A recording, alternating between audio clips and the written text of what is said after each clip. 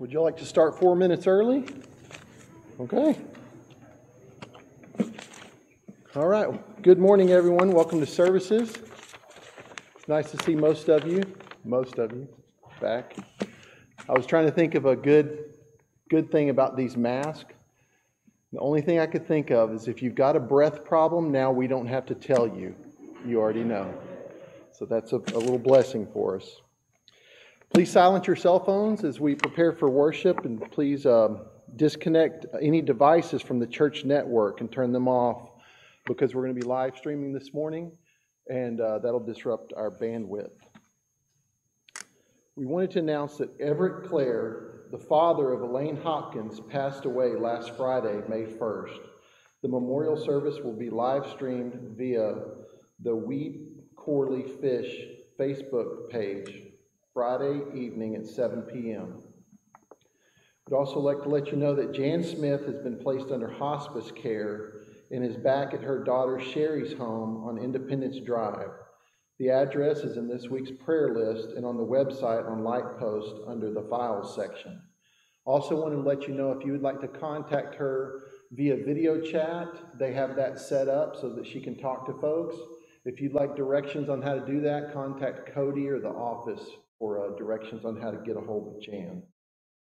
Remember to see a worship flyer and a prayer list available in the back for the list of the others that are in need of our prayers and calls, etc. at this time. I'd like to read a card from the Siebert family. Dear Southwest family, the family of Vivian Corder would like to express our heartfelt thanks for the many cards, calls, flowers, and food and prayers during her illness and her passing. Truly loved serving along all of you here at Southwest since 1979. The outpouring of care and concern for her and the care of her family simply and completely mirror the words of Christ in John 13:35. You your love for us shows you are Christ's disciples. We cannot thank you enough. The Keith Siebert and Tina family. Activities for the week? Not a whole lot. Uh, Bible class and Sunday evening services will be online only. Wednesday evening singing and Devo will be this Wednesday for all ages. So we are meeting on Wednesday. Somebody shake your head. Okay. If you have any needs, please call the office or one of the elders and let us know how we can be of assistance. Morning's song leader will be Parker Webster, and I'd like to open this. Actually, before I do that, sorry, pause. I want to talk about how we're going to do communion, um, and there will also be instructions ahead of us of serving communion this morning. Communion is going to be a little bit different. If you haven't seen them yet, we have these little cups that have the wafer or the bread on the top, where you'll peel the film from the top for the bread, and then a second layer for the fruit of the vine. A prayer will be offered before uh, you partake of the bread and of, and the cup like we normally do. So just pause. Uh, we'll do the, the bread prayer, take the bread, we'll pause, then we'll do the, the fruit of the vine prayer and, and, and etc. The men will pass out the supplies uh, when the time is right. And uh, a prayer will be offered for contribution. The men will, men will pass down the vacant rows in front of you. You don't need to grab any trays or anything. You can put your offering in the plate. All right, having said that, let's open with a word of prayer. Heavenly Father, we're extremely grateful to be here this morning. We're grateful for your creation, for the time that you've allotted for us this morning to worship again together. Thankful for the blessings that we see around us every day. We pray that we focus on those. We pray that we move forward with haste. Thankful for your son. We're thankful for your church. Again, we're thankful for this time this morning. We pray that we do all in accordance with your will.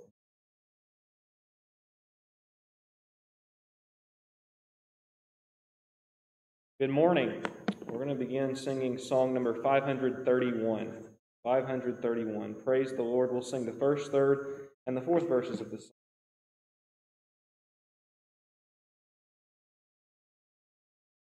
song. Praise the Lord, ye heavens adore it. Praise him, angels in the high. Sun and moon rejoice before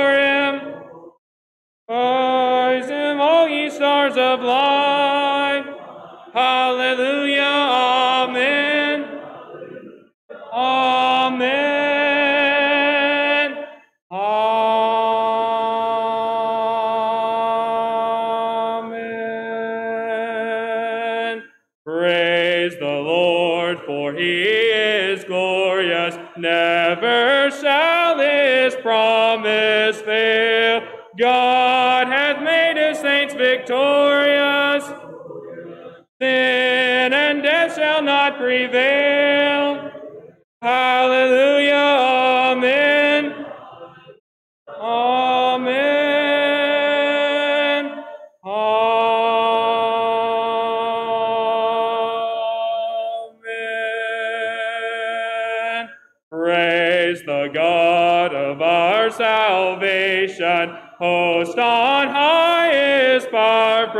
Proclaim.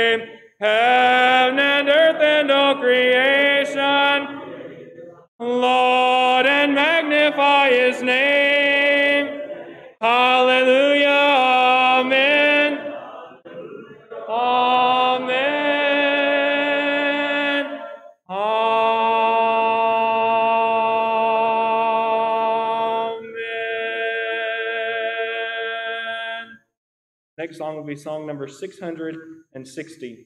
660. There is a habitation, and after this, we'll be we'll have an opening prayer by Brother Brett Gerhardt. We'll sing the first, third, and fourth, fourth verses once again.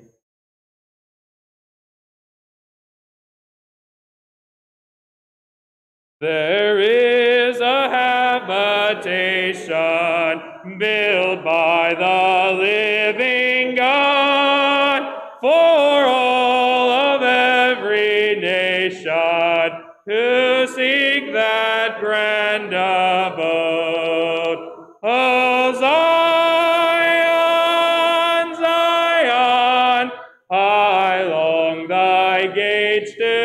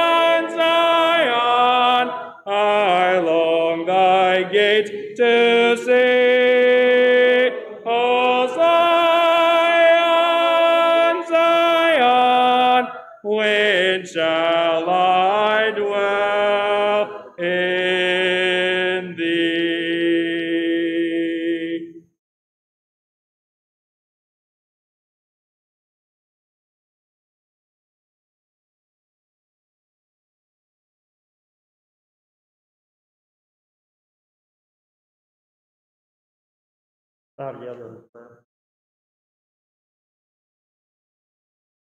Our most righteous Heavenly Father, we are thankful, Father, to be able to come together today, enjoy the blessings of gathering together, offering up our praise to you, the creator of this universe, offering up our worship, seeing each other, uh, able to enjoy the strength and the encouragement that comes from our gathering together as a family of your people. Father, we are mindful of this time of unique situations that come about in the past few weeks. We pray, Father, for all those who have lost loved ones, all those who have had health difficulties in recent time, especially several of our own number here. Born with them, we ask that you would hold their hands up and comfort them. We uh, pray for some, Father, who are now struggling with health difficulties, but we're thankful for others who have recovered, and we pray, Father, for all those who have been alone through this difficult situation. We look forward to and we long for, Father, the time when we can gather together freely again. Pray your blessings on our country, on our leaders. We pray for wisdom in making decisions. We pray most of all, though, Father, that we would continue to remember even when day to day circumstances are difficult, are sometimes frustrating to us, we pray for wisdom. Pray that we would keep a spiritual outlook first and foremost in our lives. We are thankful, Father, for the Bible studies that we have been able to continue in. We're thankful for Logan and Steve and Cody and others and their efforts to enable us to continue to study your word together. We're thankful, Father, for the book of Isaiah and for the insight and the comfort that it gives us knowing that your people have struggled with much more difficult circumstances in the past. And you are faithful, Father. We know that you're in control. We know that you rule in the kingdoms of men. We pray, Father, for wisdom and the insight to be able to keep our trust in your word and know that you will keep your promises, that we can read and study your word and continue to walk in it and point others to it. Father, we pray that we would be able to look for opportunities to be a positive spiritual influence in the lives of others around us. We pray for boldness and for spirit of willingness to reach out to others, to point them to true Christianity, to encourage others to investigate your word and see that it's true. Pray your blessings on our worship and on our gathering today. We pray for all those who were not able to be here together with us. Pray that we would grow stronger and grow together more as congregation of your people. Ask your blessings on us. Do that and all of these things. Pray you be with Cody as he preaches to us today. We're thankful we can gather together around the table and offer up our our gifts to the work of the church at this place. Thank you for all things, Father. We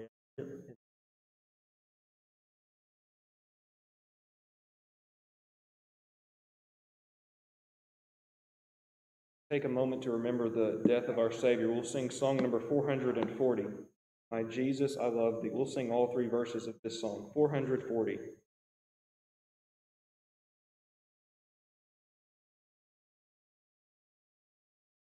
My Jesus, I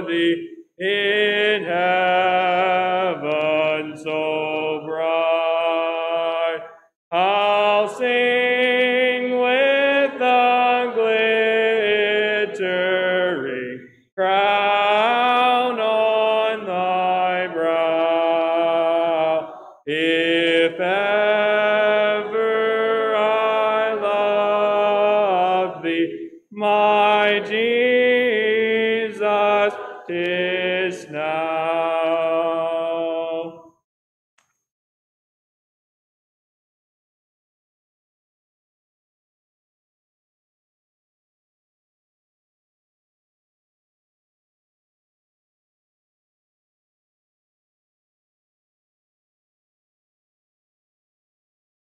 The communion will be served differently today. The unleavened bread and fruit of the vine are packaged together. Our men will pass out the communion supplies in the cup tray, and prayer will be offered for the unleavened bread. All partake at this time, then prayer will be offered for the cup. All will partake at this time, men will pass down the vacant aisles, collect used supplies. Prayer will be offered for the contribution, and men will pass down vacant, take the collection. Today, to to prepare our minds for the Lord's Supper, I'll be reading John 6, 47, 59. I'd like to follow. That's John 6, 47, 59. Most assuredly, I say to you, he who believes in me has everlasting life. I am the bread of life. Your fathers ate the manna in the wilderness and are dead. This is the bread which comes down from heaven, that one may eat of it and not die. I am the living bread which came down from heaven. If anyone eats this bread, he will live forever. And the bread that I shall give is my flesh, which I shall give for the life of the of the world. The Jews therefore quarreled among themselves, saying, How can this man give us his flesh to eat? Then Jesus said to them, Most assuredly I say to you, unless you eat the flesh of the Son of Man and drink his blood, you have no life in you. Whoever eats my flesh and drinks my blood has eternal life. I will raise him up the last day.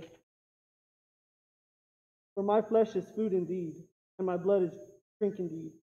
He who eats my flesh and drinks my blood abides in me, and I in him. As the living Father sent me, I live because of the Father. So he who feeds on me will live because of me. This is the bread which came down from heaven, not as your fathers ate the manna and are dead. He who eats of this bread will live forever. These things he said in the synagogue as he taught in Capernaum.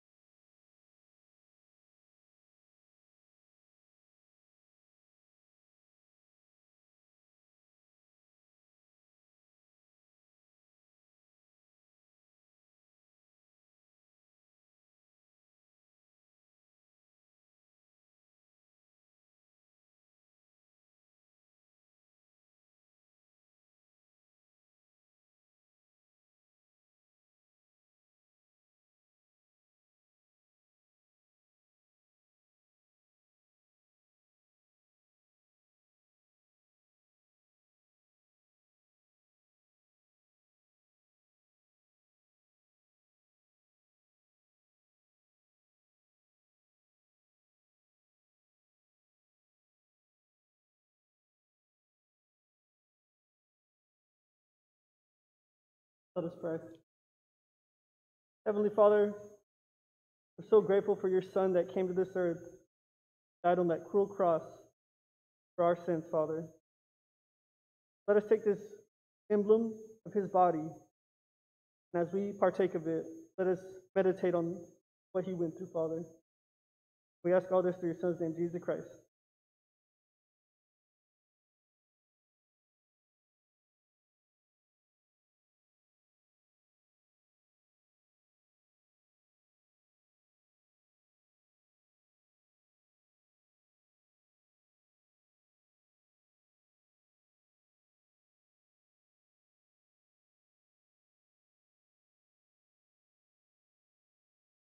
Now let us pray for the vine. Heavenly Father, we thank you so much for this day. We ask your blessings and we give our thanks for this fruit of the vine that represents the blood that Jesus shed on the cross. Thank you so much for his sacrifice and name that we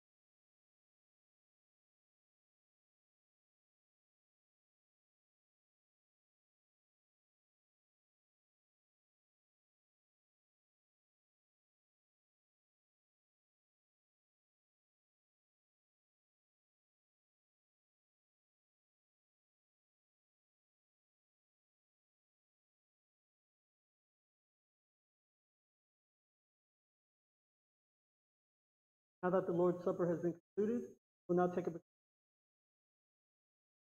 Heavenly Father, we thank you for all the blessings, spiritual and physical. Pray that whatever is given today is given with a cheerful heart and that it's used for your kingdom.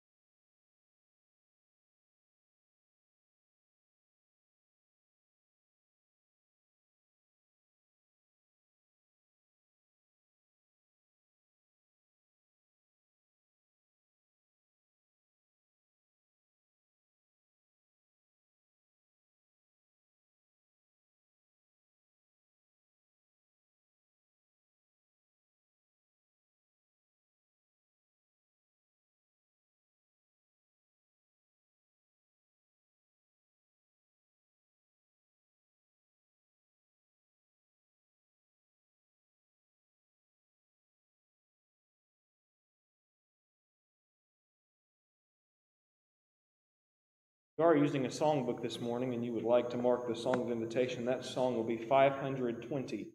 Only a step. 500. For the lesson this morning, we're going to sing song number 501. We're going to sing um, all the verses. And let's stand as we sing this song.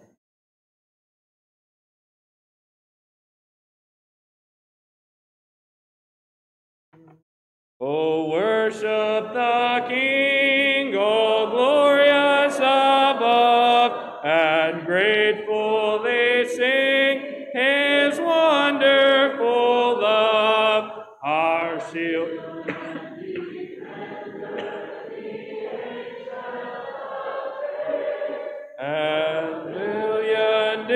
brilliant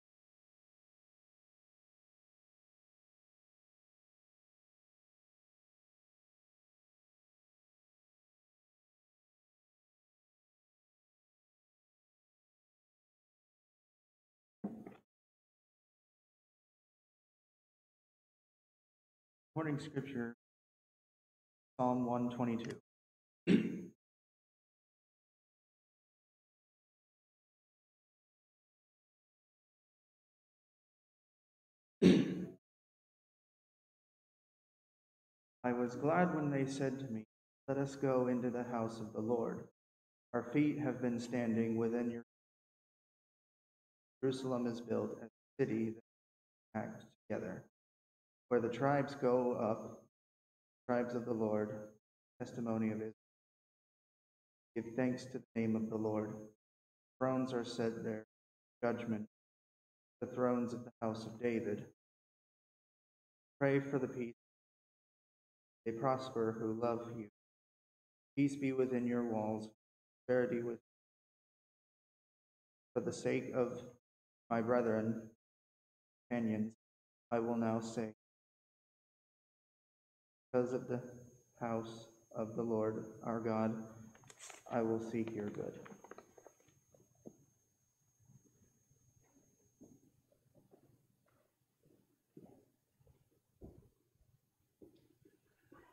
Morning, everyone. It is good to be here. And uh, in case you're wondering, I have my mask, and before I get closer than however far away we are from each other right now, I'll put it back on. So, no worries.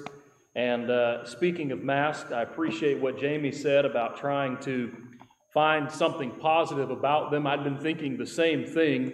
And then when I showed up to the building this morning, it finally hit me when I saw Matt Gibson. And I thought to myself, wow, that's actually an improvement for him. and I don't even get to see his facial expression now because he's hiding it. Sorry, Matt, I'm just trying to get things back as much uh, to normal as possible. but it is good to be here, and it's good to see all of you, even Matt. I hope you have your Bibles turned open to Psalm 122 this morning. The psalm begins, as Carson read for us a moment ago, I was glad when they said to me, Let us go into the house of the Lord. This psalm, Psalm 122, is, uh, or it belongs to a collection of psalms known as the Songs of Ascent. These songs of ascent are those that the Israelites would sing as they would make their yearly uh, trip to Jerusalem in order to worship God in the temple and in order to observe the feasts. These songs really were songs of meditation, and their purpose was to help prepare the minds of the worshipers to be able to worship God. The interesting thing about Psalm 122 is how it falls in line with Psalm 120 and Psalm 121. In Psalm 120, the people are pictured as traveling to Jerusalem. They're on their way to be able to worship God.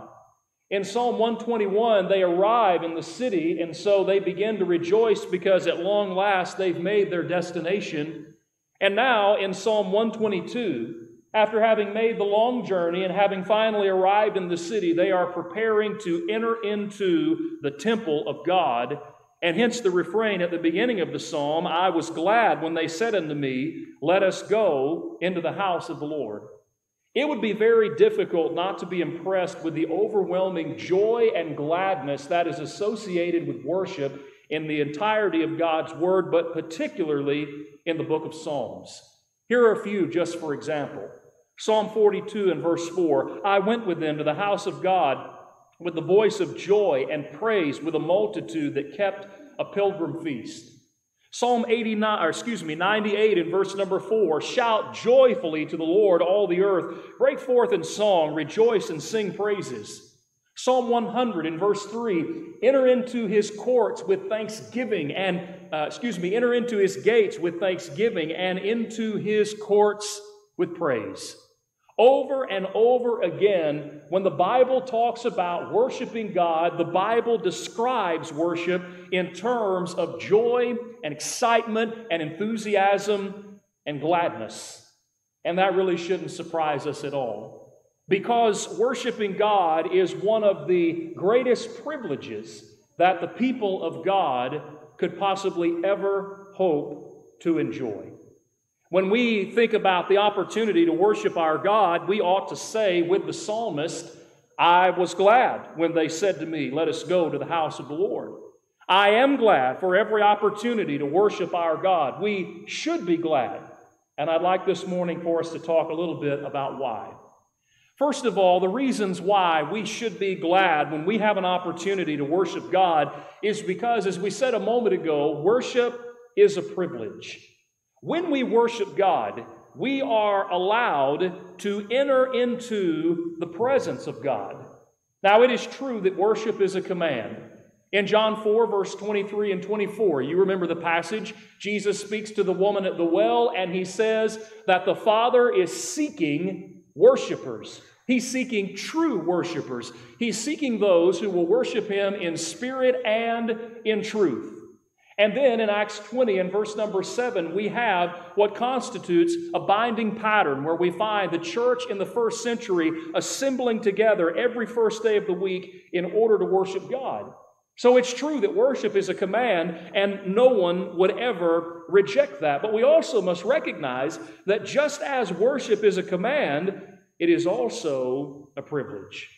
It is a privilege because when we gather, when we worship God, we are again, uh, we are allowed the ability, at least in a sense, to enter into the presence of God. Not in the sense, of course, that we're literally before Him, as some might think, but rather in the sense that we as His people are gathered together to worship Him, and so we have His ear and we have His attention. Listen to these passages. Psalm 100 in verse number 2, the psalmist says, come before his presence with singing. The same psalm, Psalm 100 in verse number 4, the psalmist says, Enter into his gates with thanksgiving and into his courts with praise. And in Psalm 66, verse 13, the psalmist said, I will go into your house with thanksgiving. I want you to stop for just a moment and imagine the privilege and the grandeur of being able to come before the presence of a king. Now, in our world, in the year 2020, we haven't seen much of this maybe on television, maybe in movies or something. It's really not a practice uh, today as it has been in the history of our world. But I want you to just imagine for a moment whatever picture you may have seen, reading it in a book or seeing it in a documentary, or maybe you've been privileged to see it in person. Whenever the king or whenever the queen of a nation enters into procession, into uh, their throne room, all of the pageantry and all of the beauty and all of the gold and the silver and the pearls and all of these other things, we know the scene. Imagine what great privilege it must have been to have been able to have, been, to, to have received audience before the king and then recognize that God is so much more, and the privilege of being able to come before Him and His presence is even greater. Who can forget the throne room scene in Revelation chapter 4? We have a similar one in Isaiah chapter 6, but Revelation chapter 4 is particularly, uh, particularly noteworthy you remember the scene as John describes it in that chapter, how he sees the Almighty God sitting upon the throne, and how he sees around God the uh, elders and uh, the uh, various uh, beings in the heavenly realm, and how they are praising him. Uh, they have been described as professional worshipers because the Bible says that they never ceased praising God night and day. And, brothers and sisters, there is a sense whenever we are able to worship our God, whenever we have His ear and we have His attention, that the presence and the eye of the Almighty Creator of the universe is here, focused upon us. And we should also recognize that this is a privilege that belongs exclusively to the children of God. 1 Peter chapter 2 and verse number 5 the Apostle Peter talked about the fact that we, as God's people, have the ability to offer up spiritual sacrifices unto Him. When we worship God, we have the ability of approaching His throne in prayer. 1 Timothy chapter 2. We are led in prayer as a congregation by a man who is living a holy and righteous life. And the Bible describes those prayers, Revelation 5 and verse number 8, is that which comes up before God uh, as something that is sweet. We have the ability and the opportunity to commune with our Lord and one another. 1 Corinthians 10 and verse 16, Matthew chapter 26 and verse 29. We have the opportunity to hear a message from the Word of God who has chosen to communicate with us. Colossians 3 and verse number 6. We can give of our means in order to further His work. 1 Corinthians 16, verse 1 and 2. We are able to sing praise and exalt Him. Ephesians chapter 5 and verse number 19. When we think about the actions and when we think about the opportunity for worship, we have to recognize the privilege we have to recognize how special and how wonderful it really is to be able, as children of God, to offer up unto our Creator and our Redeemer the praise and the honor that He deserves. We should be glad whenever we have an opportunity to worship because of the privilege of worship. But we should be glad also, building on the first point, we should be glad when we're able to worship God because we are able to give God what He deserves. Let me ask you a question. What is worship anyway? How do you define it? If you were to break down the English word worship, literally the idea is worthship. That is, we are expressing the greatness or the value of God in our worship. In both the Old and New Testaments, the Hebrew and the Greek words that are uh, translated as worship or have something to do with worship, they both indicate the practice of prostrating or bowing down before the one who is being worshiped. So when we worship God, we bow before his presence and we offer unto him the glory that is due to his name. There are a number of different designations in God's word, a number of different descriptive terms, if you will, for worship. Let me share some of them with you. When we worship God, we glorify God. Matthew chapter 5 and verse number 16. When we worship God, we express awe of Him. Psalm 33 and verse number 8. When we worship God, we magnify God. Psalm 35 and verse 27. When we worship God, we honor Him. Isaiah 29 and verse 13. We praise Him. Luke 19 and verse 37. We exalt him, Psalm 18 and verse 46. And we thank Him. Luke 17 and verse number 16. I want you to think of Hebrews chapter 13 and verse number 15 for just a moment. It is a passage I know that we are all familiar with where the Hebrews writer talks about the practice of bringing before God the sacrifice of praise and offering unto Him the fruit of our lips. I want you to think for a moment about the terminology that the Hebrews writer uses in that passage. Notice when he talks about giving our praise, he describes it as the sacrifice of praise.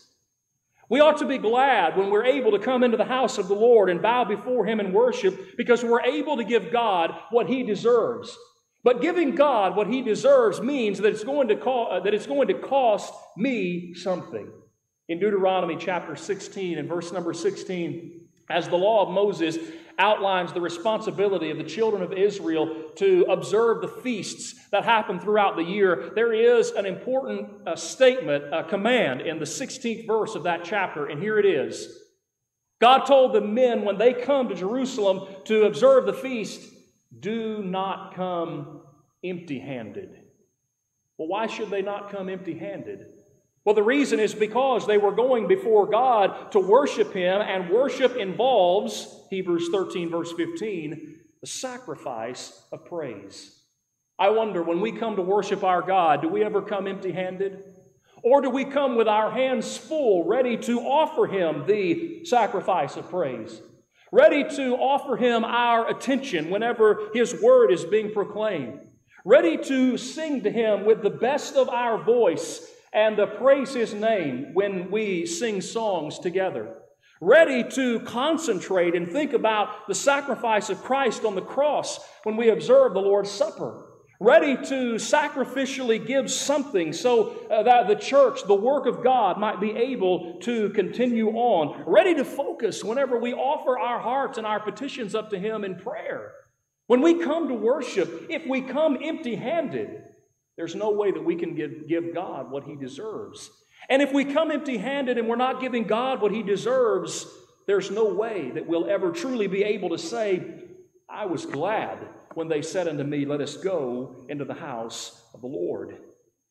Why do we come before God and offer the sacrifice of praise anyway? The answer is because of who He is. In John chapter 4 and verse number 24, the Bible says that God is spirit, and they that worship Him must worship Him in spirit and in truth. We come before our God and we worship Him and we honor and praise and exalt and thank Him and glorify Him. And the reason is because He is our Creator. Psalm 100 in verse number 3 We are His people and we are the sheep of His pasture. It is He who hath made us. We come before God and we offer Him the sacrifice of praise because He is great. Psalm 48 and verse number 1 says, Great is the Lord and greatly to be praised. When we come to worship God, when we come to offer Him the sacrifice of praise, to give Him all that we can, the glory and the honor that is due His name, we recognize that we're doing so because we are worshiping a God who loves and who cares and who provides. We are worshiping a God who sees and who knows all. We're worshiping a God who is merciful and who is long suffering and who is gracious. And the list of God's wonderful characteristics could continue to go on and on. Our God is worthy. He is worthy of our worship and He is worthy of our praise. And one additional point I want you to look at Psalm 103 with me just for a moment. I want you to think for, with me about all of these great characteristics of God and then think about how those wonderful characteristics of God are to our benefit. Listen to Psalm 103. We won't look at the whole psalm, but let's notice just a few passages. The psalmist begins, Bless the Lord, O my soul, and all that is within me, bless his holy name. And you might make a mark or a notation in your notes or in your Bible that the psalmist in this passage is speaking in the imperative. He's giving, this is command language. When he says, Bless the Lord, O my soul, and all that is within me, bless his holy name. Bless the Lord, verse number two, verse one and two. These are not suggestions, these are commands. And then look at the last part of verse two. Why are we blessing the Lord? and forget not all of his benefits. And then for the remainder of this psalm, he'll go on to describe what those benefits are. He heals, uh, forgives our iniquities and heals our diseases. He redeems your life from destruction. He crowns you with loving kindness and tender mercies. He satisfies your mouth with good things. The Lord executes righteousness and justice, verse number six. His mercy is great, verse number 11. And on and on the Lord goes, or uh, the, psalm, the psalmist goes. We come before God to worship Him and offer Him the sacrifice of praise. We give Him the glory and the honor that's due to His name. And we do it from a heart that ought to be full of gratitude and full of thanksgiving. And the reason is because we think about the greatness and the majesty of our God, and we see how, though our God is great and greatly to be praised, yet He has been great and good unto us. And so we worship Him and we honor Him for it. And when we give him what he deserves in the way that he desires, it's well pleasing in his sight. Leviticus chapter 1 and verse number 9 is one of the important principles of sacrifice found in that book. And the Bible tells us in that passage that when the worshiper under the law of Moses would come before God and would offer his sacrifice in the way that God had commanded the sacrifice to be given, that it would go up before the Lord as a sweet smelling savor. Worship, of course, as we well know, is not a free for all. It's not something that is left up to our own imagination, but rather God has requirements that are to be met. We can't offer strange fire like Nadab and Abihu in Leviticus 10, or will worship like those in Colossians 2 and verse number 23, and expect to be acceptable before God. But when we come before Him in the way that He desires and in the way that He deserves, He will be pleased. He will be glorified. And in that case, we can say, I was glad when they said to me, Let us go to the house of the Lord. Let me suggest one more reason.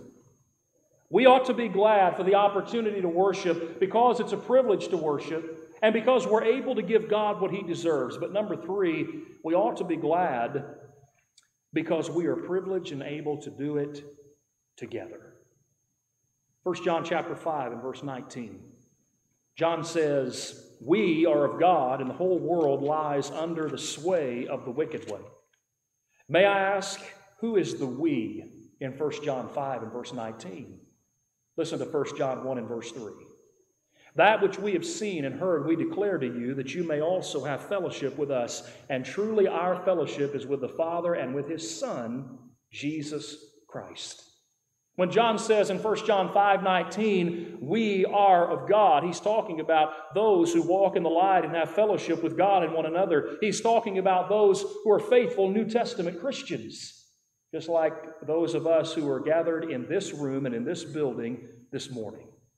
The Bible describes the opportunity in terms of gathering with those who are of like precious faith. 2 Peter chapter 1 and verse number 1. And the Bible says that when we worship God, our worship not only has a vertical component, that is, our praise going upward to God, but it also has a horizontal component, that is, the effect, the benefit that it has on one another. Hebrews 10, verse 25, the Bible warns us against forsaking the assembling of ourselves together, but the passage also talks about how we are to exhort and to build one, one another up even so much more as we see the day approaching. Worship is an opportunity for the children of God to build one another up. Colossians 3 and verse number 16. The Bible talks about our worship and song and says that one of the things that we do is that we teach and we admonish one another. Go read Acts chapter 2 and verse 44 and following, and what you'll find is that the church was together. They were together with one mind and one mouth that they might glorify God together. Romans chapter 15 and verse number 6. And our bond, our tie as brothers and sisters and members of the family of God, it's a beautiful bond and a privileged bond that the world cannot understand. And if I'm being honest, until recently, I didn't realize just how powerful and how much of a treasure it was either.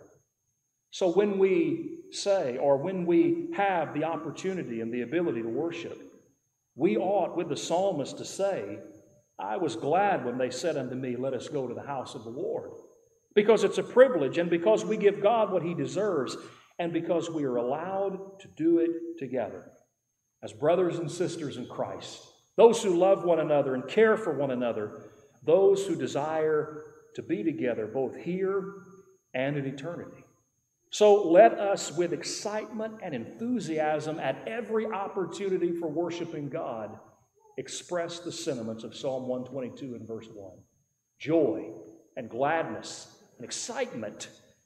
I was glad when they said to me, Let's go into the house of the Lord. Lesson is yours this morning.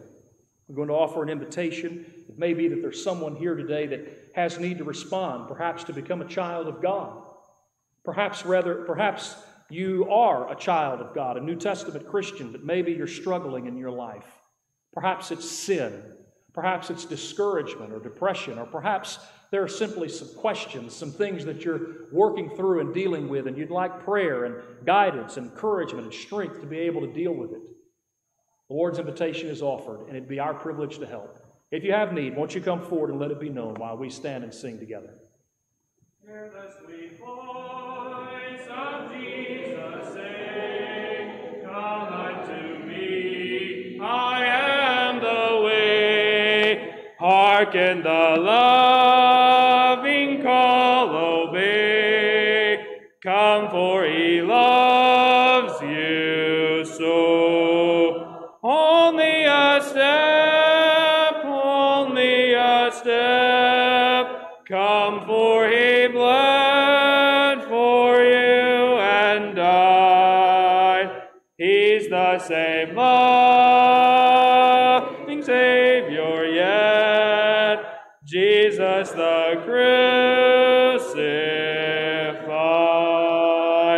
Casting your heavy burden down. Come to the cross, the world may frown, yet you shall wear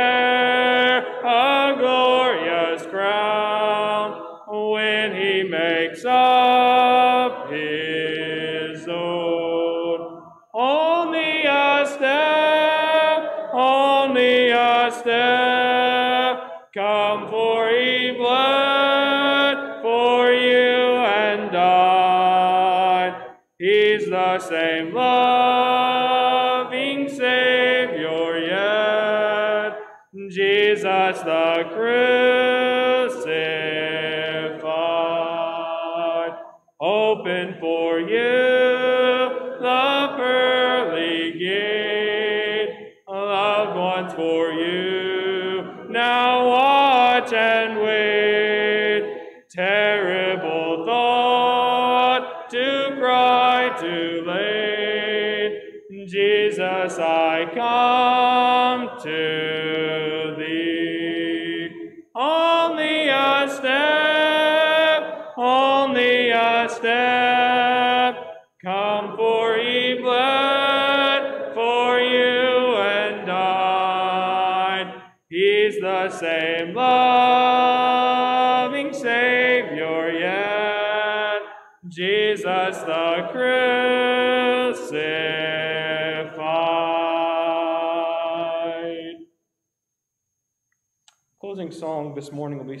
number 638. 638. The Lord has been mindful of me. We'll sing all the verses once again, and we'll have a closing prayer of our Brother Josh Pacino. Though I through the valley of shadow, or mountain, or troubled sea, and oft in the darkness have traveled, the Lord has been mindful of me. The Lord has been mindful of me. He blesses and blesses again. My God is the God of the living. How excellent is his name. Much more than my grief and my sorrow, much more than adversity, much more than the all I have given. The Lord has been mindful of me. The Lord has been mindful of me. He blesses and blesses again. My God is the God of the living. How excellent is his name. I'm rich, I am saved, I am happy. I've health and prosperity. I've friends, I have doors ever open. The Lord has been mindful of me.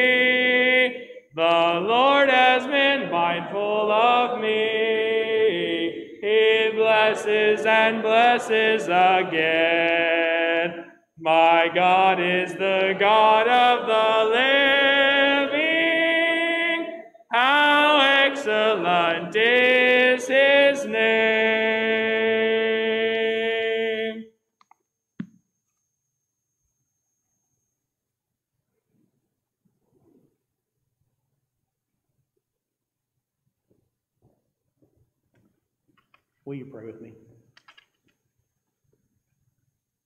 Our most righteous Heavenly Father, we come before you thanking you for another Lord's Day, that we can come into this building, God, and sing praises unto your name, learn more about your word.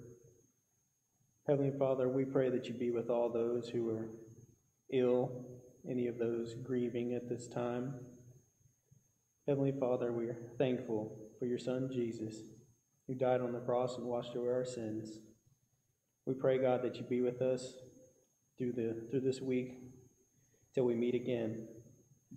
We pray all this in your Son's name. Amen.